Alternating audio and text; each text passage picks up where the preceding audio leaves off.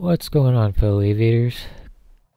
Didn't want to leave it with the stupid Apache mission, so we're back to doing the BVR fights and BMS.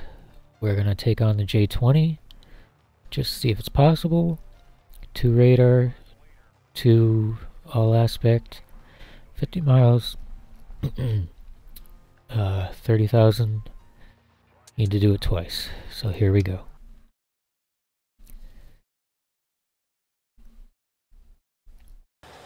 Alright.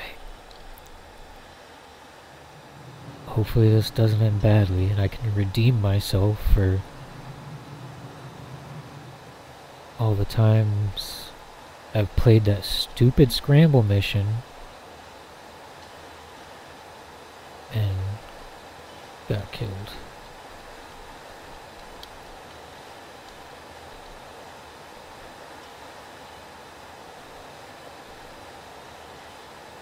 There we go.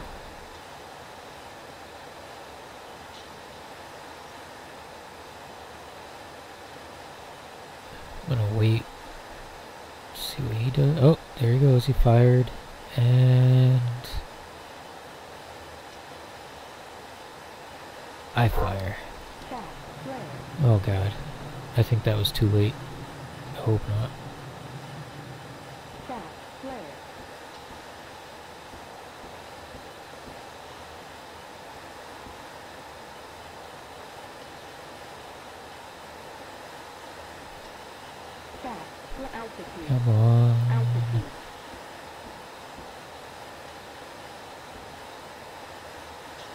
Going almost 900 knots. Holy crap. That thing ain't catching me.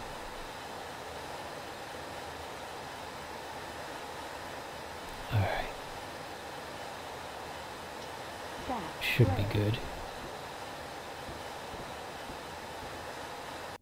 And we got him. Holy crap. Hell yeah, dude. Alright, we know it's possible when it's one-on-one. -on -one, but that mission makes you fight four of them. And they jam. This guy's not jamming. If he was jamming, there's no freaking way I'd be able to, to do this. It's that jamming that really messes it up. Because you can't lock them until you get within like at least 20 miles and you're within 20 miles of four of them which can all launch radar missiles at you. Come on. There we go. Oh, he fired at me. Uh, now.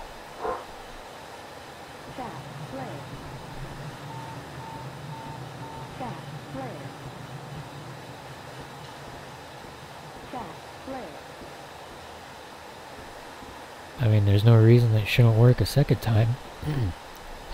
God, my nose is always so stuffy.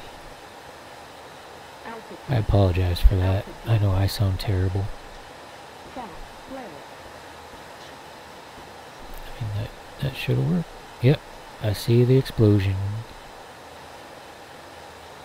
Very cool.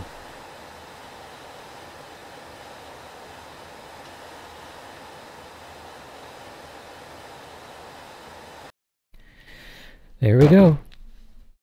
So we know it's entirely possible when I don't know what that was. When they're not jamming and there isn't four of them, I can beat them. All right.